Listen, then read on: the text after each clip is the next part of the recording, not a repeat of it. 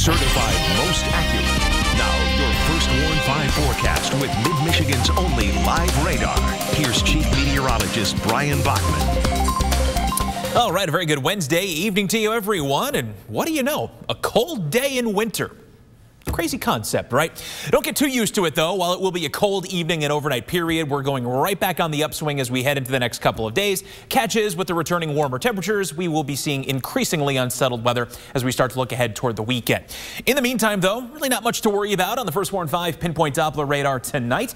Live from MBS, we've seen the snow showers and even those icy conditions that we were seeing very early this morning all retreat off toward the north and west. And as the winds continue to die off this evening, no threat of any imminent snow showers. And in fact, by the next time we see precipitation tomorrow afternoon into tomorrow night, it's going to be warm enough that it'll be coming down exclusively in the liquid variety. Live look outside over downtown Saginaw. Still some lingering twilight over some distant clouds there off on the horizon. But it's still cold, of course. 18 degrees the current air temp, but with a northwest wind, even though it is lighter at 8 miles per hour, it does still feel more like 8 degrees this evening. So plan accordingly. If you are headed out like some of these folks headed into the Dow Event Center here, just make sure you're good and bundled up for any length of time you might be spending outdoors tonight. All right, on the big picture, First Warn 5 Sky Tracker, high pressure over northern Illinois. Working its way in, it's going to move across the southern border of the state here tonight, helping us to briefly clear out the skies, calm the winds down enough to keep the snow showers out of the picture. Then as we head on into tomorrow, you see this presently stalled frontal boundary way to the south and west of us over parts of Kansas. That's going to start to get off on the move off toward the north and east with a brand new low pressure system that's going to be emerging from the Rockies. And while that'll again uh, bring some showers back on into the region, it's also going to help our temperatures climb back up pretty well into the unseasonably warm category uh, once again.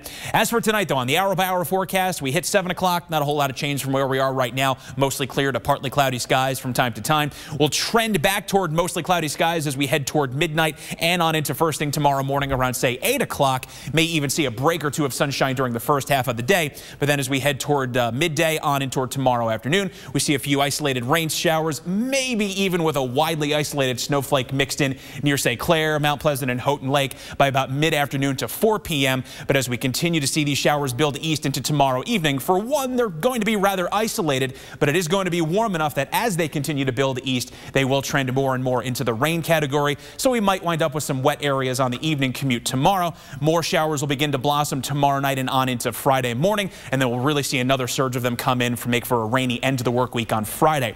But it's more Saturday that I want to focus on here now because we are expecting a major storm system to work up through the Ohio Valley to some extent as we look ahead to the first half of the weekend. Though there is still a bit of uncertainty in the overall track of this system, I want you to bank on some manner of a wintry mix type of an event for the first half of the weekend. We look at our GFS forecast model, for example, here. Saturday, it shows more of a mixed freezing rain and sleet event for areas south and east of the Tri-Cities with more of a lean towards snow farther to the north and west. However, if we look at the European forecast model, track's a little bit different, so we see more of that freezing freezing rain and mix and even plain rain inch into areas farther to the north and west with snow retreating north of the bay. So again, still some uncertainty in the exact track, but that's what's going to dictate who sees what and how much for the first half of the weekend. But again, want to make sure we're getting well out ahead of this here for you over the next couple days. Be prepared for a messy situation to start the weekend. 17, the overnight low for tonight with mostly cloudy skies and staying cold for the time being. Looking ahead in the first warn 5 7 day forecast, scattered afternoon showers and a high of 40. Right back up into the mild category tomorrow. 46 with more rain rain on Friday, and then that wintry mixed messy event as we head back to the 30s to start the weekend on Saturday. Wow, all right. Keep an eye on that. Yeah, we'll be mm -hmm. keeping uh, you posted here, of course, over the next two to three days. All right. Thank you so much, Bryan.